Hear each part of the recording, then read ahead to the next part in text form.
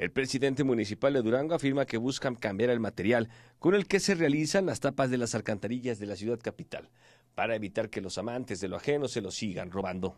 Sí, a ver, desafortunadamente es un tema, eh, viene un equipamiento donde vamos a tener cámaras en el centro histórico principalmente, pero aparte vamos a buscar, eh, en el caso de las alcantarillas, eh, otro tipo de materiales eh, se está presentando no nomás en Durango, en todo el país.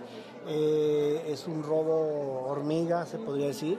Vamos a comprar este, materiales, polímeros que nos permita tener alcantarillas, en este caso ya no de bronce, sino de este tipo de materiales. Y por supuesto la vigilancia que vamos a tener eh, de acuerdo a, a estas cámaras móviles.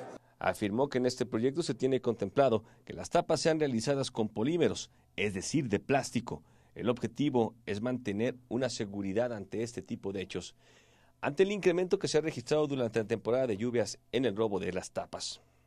A, trabajar en ello, por supuesto que nuestro interés es que, es que se cumpla con los ciudadanos, se cumplan con las expectativas de, los ciudadanos y bueno, también los proveedores tienen que tener una responsabilidad al respecto y verificar si, si hay algún algún contratiempo. Lo que queremos es que sea, sea una tecnología amigable con los ciudadanos y que puedan cumplir con este... Con la edición de Donato Herrera en Canal 12 Noticias Informa, Salvador Mercado Hurtado.